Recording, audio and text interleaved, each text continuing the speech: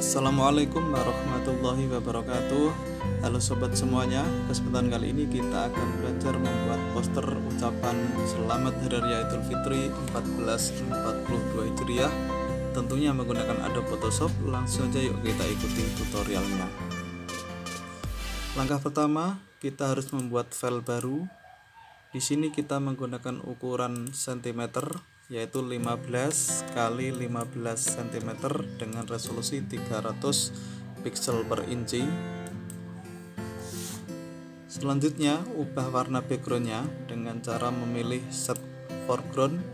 Kita klik kemudian pilih warna ungu yang agak tua seperti ini. Kemudian dengan menggunakan pen packet tool kita klikkan pada area kerja Berikutnya, sobat semuanya bisa menggunakan elliptical marquee tool.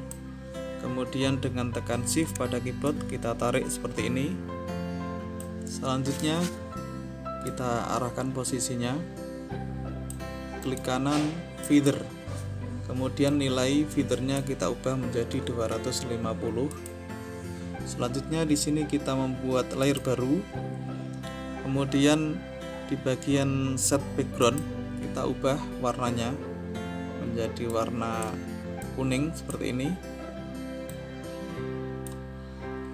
Kemudian gunakan Ctrl Del nah, sehingga dia akan membentuk pancaran warna kuning seperti ini kemudian hilangkan seleksinya dengan Ctrl D. Selanjutnya dengan move tool kita arahkan di bagian atas. Nah seperti ini ya opacity-nya bisa kita kurangi menjadi 50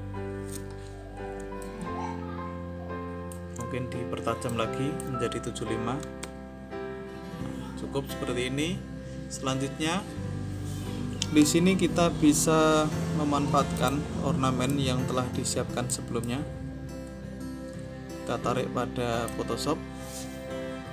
Di sini ada objek pattern dan objek berupa ketupat kita pilih yang pattern dulu. Dengan move tool kita tarik ke area kerja. Selanjutnya atur posisinya. Nah kemudian di sini gunakan masking pada bagian bawah ini add layer mask.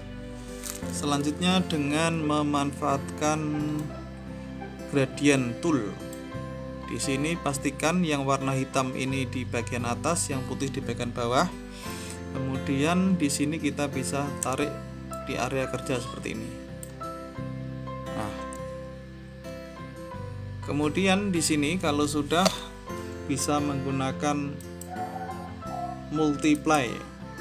Nah, di multiply ini kemudian di opacity-nya sobat semuanya bisa ubah menjadi 50 seperti ini jadinya. Kemudian selanjutnya di sini kita bisa memasukkan ketupatnya. Nah ornamen ketupat ini sudah pernah ada tutorialnya cara pembuatannya. Mungkin kalau ingin belajar bisa dicari di channel ini. Kita pilih yang ketupatnya kemudian gunakan move tool kita arahkan pada area kerja kemudian gunakan Ctrl T tekan Shift Alt secara bersamaan kita perkecil. Kalau dirasa sudah cukup bisa dicentang nah selanjutnya arahkan seperti ini. Kita duplikat untuk ketupatnya ini. Kita duplikat. Sorry kita duplikat dulu. Duplikat layer. Nah, kemudian atur posisinya kita duplikat kembali. Nah, setelah diduplikat seperti ini yang bagian tengah ini kita perkecil sedikit. Selanjutnya bisa dicentang. Selanjutnya di sini kita bisa membuat objek baru mungkin. Kita pakai objek custom shape tool kita pilih objek yang bulan sabit. Nah ini ya. Kita pilih ini. Kemudian mungkin dengan zoom tool kita perbesar sedikit. Nah, kita perbesar dulu. Biar mempermudah kerja kita. Kembali menggunakan custom shape tool. Pilih yang bulan sabit ini. Kemudian yang ini pilih yang shape. Terus fillnya ubah warnanya menjadi kuning. Seperti ini ya. Selanjutnya bisa kita tarik pada area kerja. Nah seperti ini.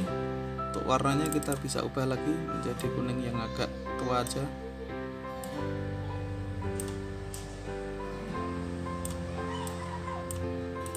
Oke. Kemudian di sini gunakan Ctrl T atur sedikit posisinya diubah. Nah, seperti ini. Sudah bisa dicentang. Selanjutnya dengan move tool kita arahkan posisinya. Kemudian kita duplikat lagi yang ini duplikat layer. Duplikat taruh di bagian sini. Kemudian kita bisa duplikat kembali. Duplikat layer. Taruh di bagian bawah seperti ini selanjutnya kita bisa membuat objek baru lagi. Pilih yang bintang. Nih. Kemudian sama dengan bulan sabit ini ya. Kita tarik ke area kerja. Nah seperti ini. Kemudian bisa kita duplikat. Atur posisinya dengan move tool oh sorry ini kan layarnya jadi satu dengan ini. Berarti sebelum kita membuat objek kembali lagi ya historinya. Kita kembalikan historinya. Nah di sini ya sampai sini aja. Jadi untuk bintangnya ini kita pilih layer baru aja. Jadi layarnya jangan disamakan dengan shape taruh bagian atas sini. Nah kemudian di sini baru kita membuat bentuk bintang untuk bintang. Nah seperti ini. Kemudian untuk warnanya kita samakan dengan yang bulan sabit ini ya. Kita samakan aja. Oke. Kemudian kita baru duplikat bintangnya ini. Kita duplikat dengan move tool kita arahkan posisinya. Bisa kita duplikat kembali mungkin ditaruh di bagian sini. Nah seperti ini ya. Kalau sudah semuanya kalau sudah seperti ini bisa kita membuat objek baru ya kayak apa tali menggantung gitu ya dengan memanfaatkan rectangular marquee tool. Nah seperti ini. Kemudian kita taruh di bagian bawah layer membuat layer baru klik. Nah layer baru ini kemudian tekan karena ini yang bawah ini pastikan ini warnanya kuning ya. Kuning sama dengan layernya ini warnanya apa ini bulan sabit ini. Nah baru kemudian kita kontrol del. Hilangkan seleksinya dengan kontrol D. Dia akan membentuk garis lurus seperti ini kemudian kita duplikat sesuai jumlah objek yang ada di sini. Duplikat. Nah, taruh di sini. Untuk mempercepatnya kita pakai ini ya move tool kemudian tekan ALT untuk menduplikat. Nah sampai muncul bentuk seperti ini. Tinggal kita tarik. Nah jadi untuk mempercepat dalam menduplikat posisinya. Ini juga. Bagian bawah juga.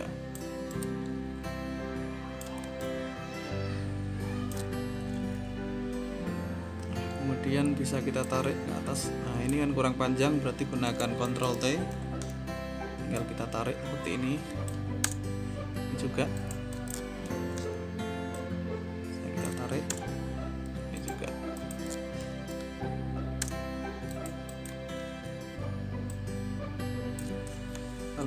bisa dicentang selanjutnya kita zoom in aja fit on screen. Untuk melihat posisinya.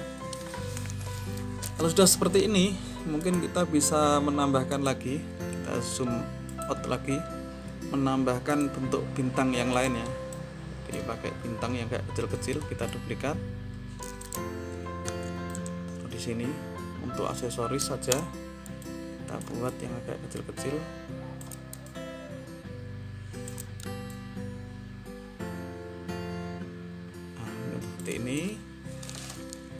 oke kalau sudah semua layernya ini kita bisa jadikan satu dulu. Dengan cara memilih salah satu layer kemudian tarik ke bawah sampai nah layernya ini tekan shift pada keyboard kemudian kita klik. Semuanya sudah terseleksi seperti ini. Kalau sudah terseleksi kita pilih merger layer. Nah sehingga layernya ini sudah menjadi satu semua. Kemudian kita zoom fit on screen dulu Nah, kalau sudah menjadi satu ini, kita bisa terangkan sedikit aja ya dengan menggunakan image adjust curves. Nah, bisa diterangkan agar lebih jelas sedikit. Oke, kemudian kita duplikat layer. Nah, hasil duplikatnya ini kita flip horizontal, edit, transform, pilih flip horizontal, kemudian kita arahkan ke arah kiri. Kemudian di sini sampai ini ya jadi satu ini. Nah posisinya kalau sudah pas baru di sini kita seleksi dua-duanya kemudian di merger layar kembali. Oke kalau sudah mungkin kita bisa tarik ke bawah seperti ini. Nah kemudian di sini untuk mengepaskan posisinya ini ya yang kayak tali ini kita bisa menggunakan rectangular marquee tool kita seleksikan. Nah kemudian dengan Ctrl T kita arahkan ke atas. Otomatis kemudian kita centang dia akan panjang semua posisinya hilangkan seleksinya dengan Ctrl D. Nah kalau sudah seperti ini perhatikan kanan kirinya kira-kira sudah center atau belum ini kan udah ya. Selanjutnya kita bisa menambahkan tagnya. Mungkin kalau kurang pas ini ya.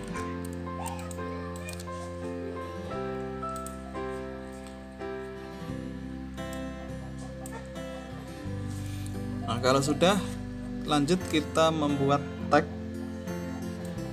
dengan memilih horizontal tipe tool kemudian untuk fontnya kita pakai ini ya tarif Arabik ini atau mungkin sobat semua bisa pakai font yang lain. Kemudian untuk warnanya kita ubah menjadi putih. Kita ketikkan tagnya.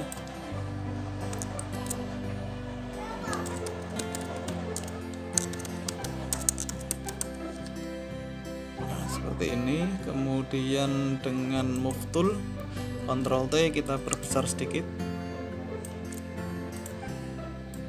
Selanjutnya kita duplikat layernya. Tarik ke bawah. Kemudian menggunakan horizontal tipe tool kembali. Kita ubah tagnya. Bisa kita blok kemudian pilih font yang lain. Misalkan di sini kita gunakan Arabila kemudian dengan Ctrl T kita bisa perbesar nah, seperti ini ya.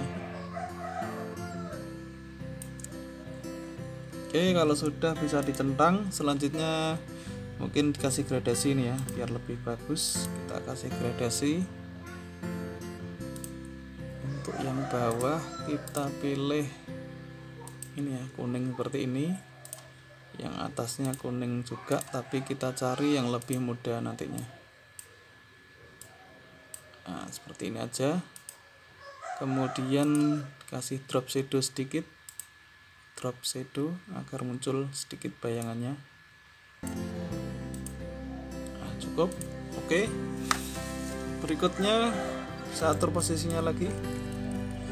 Kita buat tag selanjutnya tinggal kita copy yang ini aja biar lebih cepat. Duplikat layer kemudian taruh ke bawah seperti ini. Tulis satu syawal.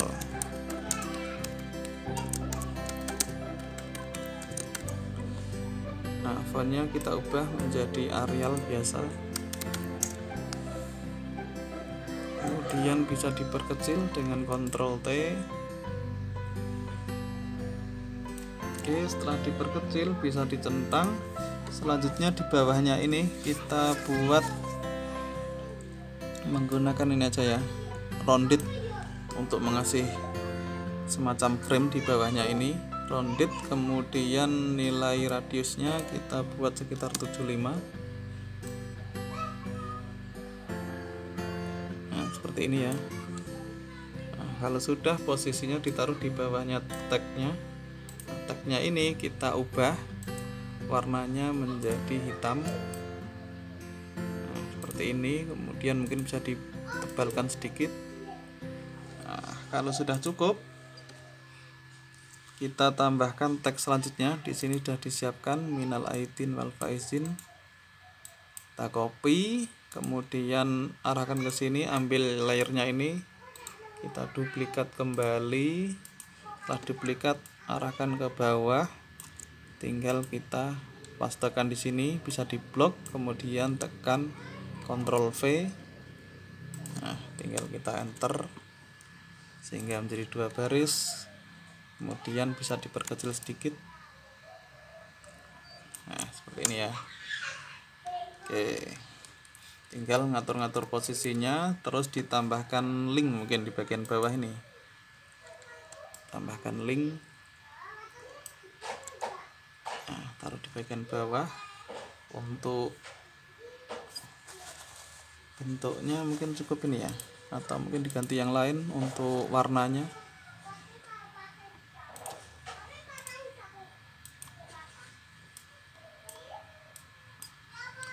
Mungkin warnanya dibuat seperti ini aja. Biar lebih kelihatan. Oke. Oke. Nah kalau sudah cukup mungkin bisa ini terlalu ke bawah ini kayaknya ya. Ini bisa diatur-atur lagi posisinya. Ketupatnya ini ditaruh agak ke atas kemudian tagnya. Nah, ini semuanya kita bisa seleksi untuk tag-tagnya. Ini roundednya termasuk Idul Fitri.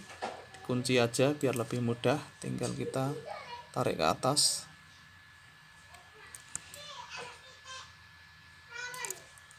nah seperti ini ya. Oke kalau sudah mungkin bisa kita simpan hasil kerjaannya.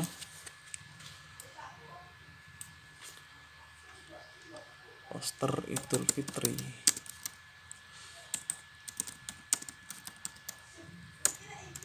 Jangan lupa disimpan file JPEG nya